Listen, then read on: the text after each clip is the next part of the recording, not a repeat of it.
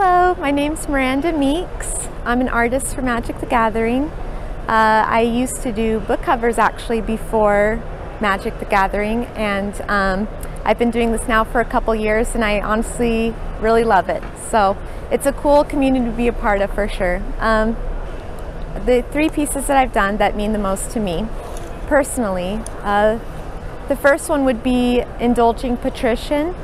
Um, that one was really special to me because it was kind of uh, my, my breakthrough kind of piece. It really helped to solidify what I loved uh, doing and painting. I loved the subject matter of it. It really kind of uh, was very special to me on a personal level. Um, so that was the first one. Another piece that meant a lot to me for magic is uh, the Gravelighter in the Kamigawa set. That one was a really cool experience because I love the subject matter so much. I was really excited when I got the assignment. uh, I got to design her and all the different colors. Uh, it really felt like I could let myself go crazy with it um, and really enjoy it in that aspect.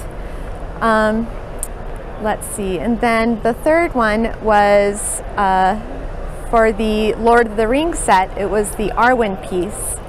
And that one was really significant to me personally because uh, I obviously uh, I like grew up with when the movies came out and those were really influential to me. I drew like dragons and elves when I was in middle school and uh, it's and then reading the books later on. Um, so she was just an important character to me um, personally and to get that assignment to paint her, it was quite the challenge. I I definitely had to redraw her a couple times just to make sure I got her exactly how I envisioned.